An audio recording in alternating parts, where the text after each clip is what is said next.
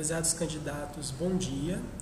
É, realizaremos a seguir o sorteio eletrônico relativo ao edital 64-2019, curso de pós-graduação Lato Senso em Práticas Pedagógicas para Professores. É, o sorteio ocorrerá sob a responsabilidade dos seguintes servidores: eu, Alexandre Silva Rodrigues e Angélica Andrade. O sorteio eletrônico visa classificar é, todos os candidatos com inscrições homologadas para compor a lista da qual serão convocados estudantes para a realização da análise da documentação. É, cada candidato recebeu um número para participação do, do sorteio, o, o, que foi divulgado no endereço eletrônico do IFES. É, o sorteio está iniciando conforme previsto no edital, na data do dia 4 de 9 de 2019, no Salão de Reuniões do CEFOM. O sorteio é, está aberto ao público, mas não há a obrigatoriedade de presença do candidato. Nesse momento, iniciaremos o sorteio dos candidatos com inscrições homologadas, utilizando o número de sorteio que foi divulgado. Em seguida será apresentada a semente utilizada, que é, pra, é utilizada para futuras conferências.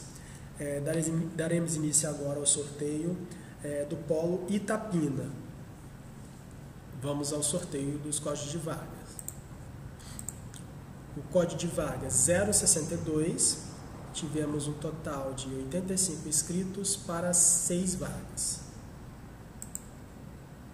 Lista gerada, os primeiros seis classificados e na sequência a lista de suplência. Aqui no final a semente utilizada. Código de vaga 64, total de 3 inscritos, para três vagas.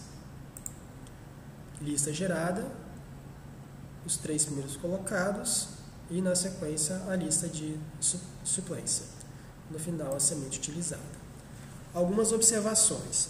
É, o candidato deverá encaminhar os documentos necessários para a matrícula é, no e-mail pspratped.ifes.edu.br no período previsto no anexo 1 que é o cronograma. O assunto do e-mail deve constar obrigatoriamente o termo envio de documentos, traço edital 64 de 2019, traço nome do candidato. O período para envio dos documentos é do dia 6 de 9 de 2019 a 11 de 9 de 2019. Esse período obrigatório é principalmente para os candidatos que passaram dentro do número de vagas, foram classificados dentro do número de vagas. Agora, às 11h15, damos por encerrado o sorteio nesse vídeo.